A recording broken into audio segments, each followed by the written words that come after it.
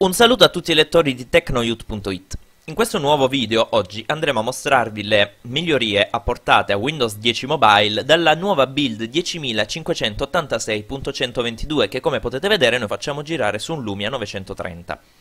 Il primo bug fix che è stato eh, apportato è sicuramente quello della possibilità ora di utilizzare la tastiera swipe o la word flow come dice Microsoft anche all'interno della barra di ricerca o barra degli indirizzi di Microsoft Edge. Come vedete ora questa funzione viene eseguita correttamente. Lo stesso browser in realtà ha ehm, diciamo forse subito una sorta di ottimizzazione anche per quanto riguarda le prestazioni eh, non che già prima non fosse abbastanza veloce, ma sicuramente ora si sente che c'è quella spinta in più invece che prima mancava. Ancora siamo lontani dalla perfezione, però sembra sicuramente che Microsoft si sia messa sulla carreggiata giusta. Per quanto riguarda invece i due bug, ehm, dei quali sicuramente vorrete essere al corrente, ovvero quello della mancata trasparenza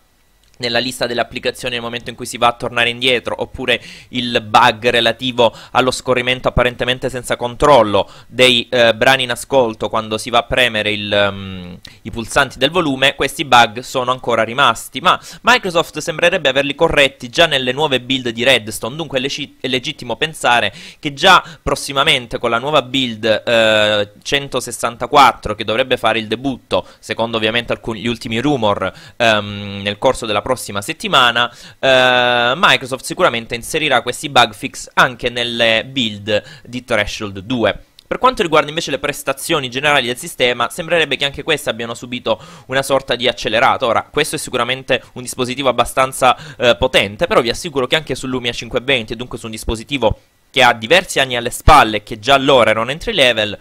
la eh, mancata ehm, diciamo reattività ormai è soltanto un ricordo. Ancora non siamo a livelli da primato però sicuramente è apprezzabile il lavoro di Microsoft che anche su terminali entry level ehm, diciamo sta dedicando loro. Un'altra cosa che ho notato ehm, è invece il, ehm, un problema che riguarda la cancellazione della cronologia in Microsoft Edge